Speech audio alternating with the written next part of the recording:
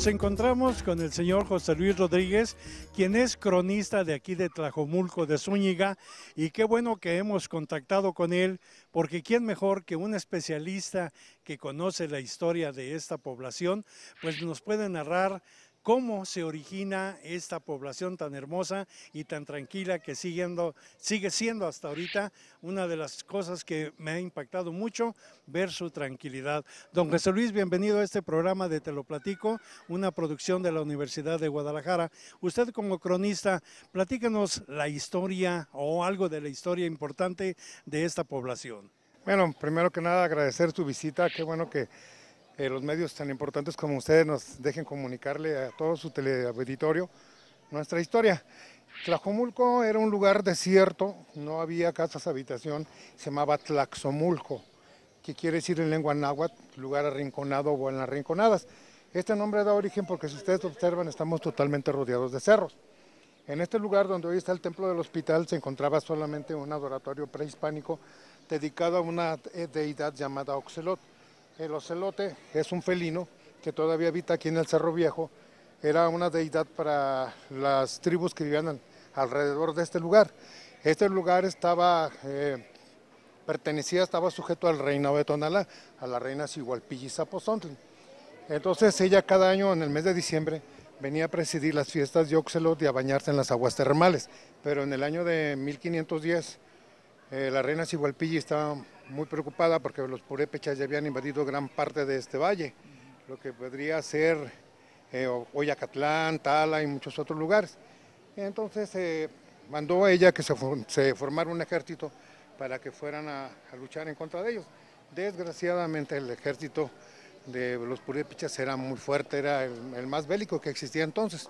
Entonces Coyot, Copala y Pilili, Pitacoat, eh, pues se intuyeron que en vez de luchar en contra de ellos, eh, usar alguna estrategia que fuera eh, un arma secreta.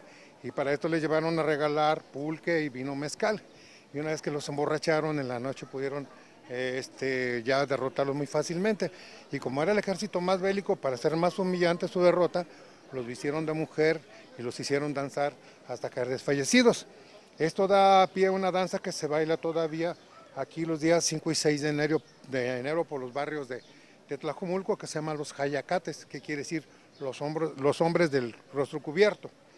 En, agradecimiento a esto, la reina Sigualpilli le dice a Coyot que funde un pueblo en el laboratorio de Tlajumulco para que él lo gobierne y durante 10 años le va a perdonar las alcabalas, es decir, los impuestos al reinado. Y es como en el año de 1510 nace Tlajomulco, pero todavía con el nombre de Tlaxomulco.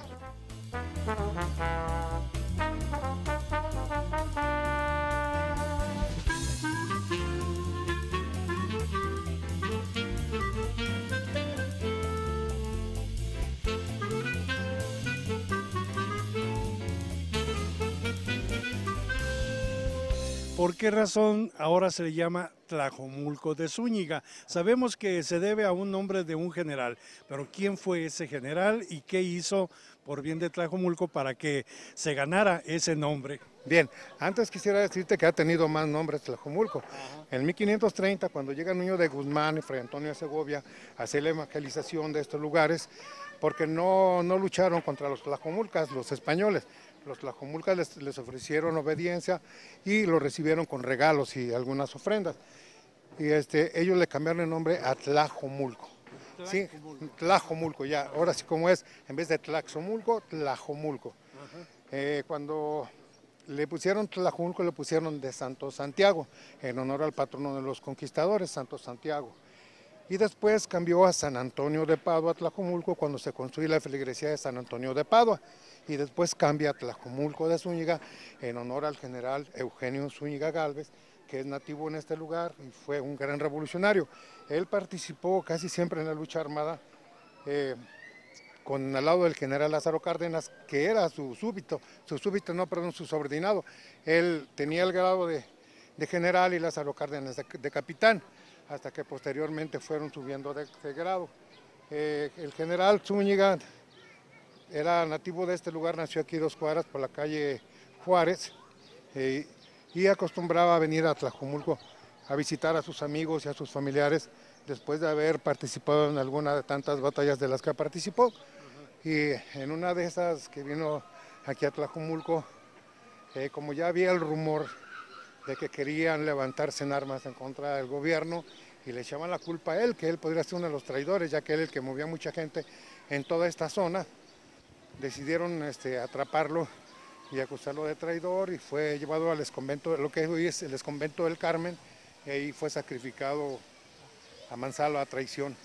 El ex convento del Carmen allá en Guadalajara. Sí, Así es, sí, porque he tenido fotografías donde se ve allí parte del ejército que estaba precisamente ubicado en ese lugar como si fuera una especie de cuartel, ¿verdad? Sí, fue utilizado como cuartel. Era el cuartel y ahí también era prisión. Y ahí se llevaron al general Zúñiga y a su hermano.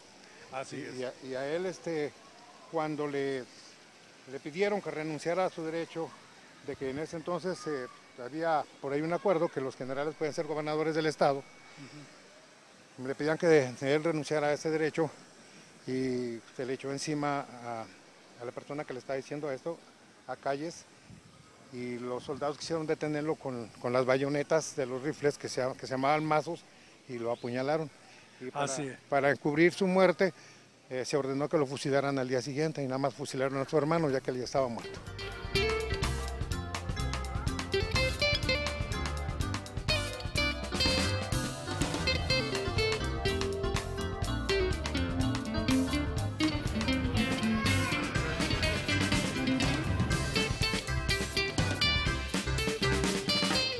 Pues una chulada de Tlajomulco. Este es puro, puro antigüedad, pura cosa bonita.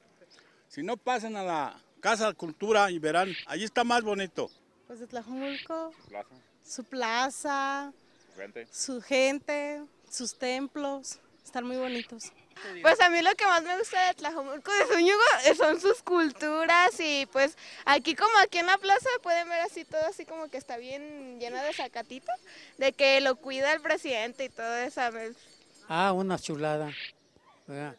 Mucho, mu- mu- la gente se porta muy bien, atiende la gente mucho- a muchos niños y a nosotros, al de tercera edad, aquí nos traen en la mano.